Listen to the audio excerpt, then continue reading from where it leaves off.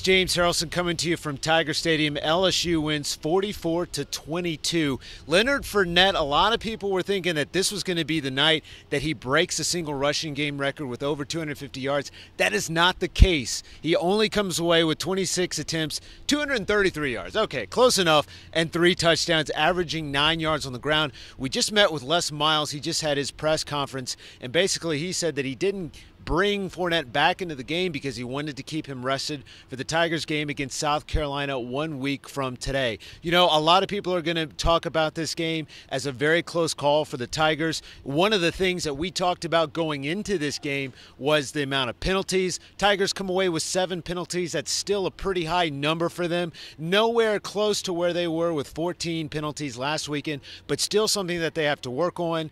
But other than that, you had a lot of people rotating in. You had a lot lot of people rotating in on the defense and offense. Uh, five rushers, I believe, uh, four rushers got the ball for the running backs. So overall, a game where LSU and Les Miles they were able to get a lot of players rotated in. As far as Brandon Harris today, four for 15, 80 yards, one interception. That's the first turnover this year for LSU. You know that was one of the things that we talked about going into this game. That it was pretty impressive that Brandon Harris had zero turnovers going into this game. He gets his first one tonight. Les Miles told reporters that Brandon Harris basically did though what they wanted him him to do, and a lot of those dropped balls were not his fault. And there were some pretty big drop balls. There was a drop ball actually right here with Malachi Dupre in the second half that would have put more points on the board for LSU. So LSU comes away a winner tonight, and they head into South Carolina undefeated next week. And I'm James Haralson coming to you from Tiger Stadium.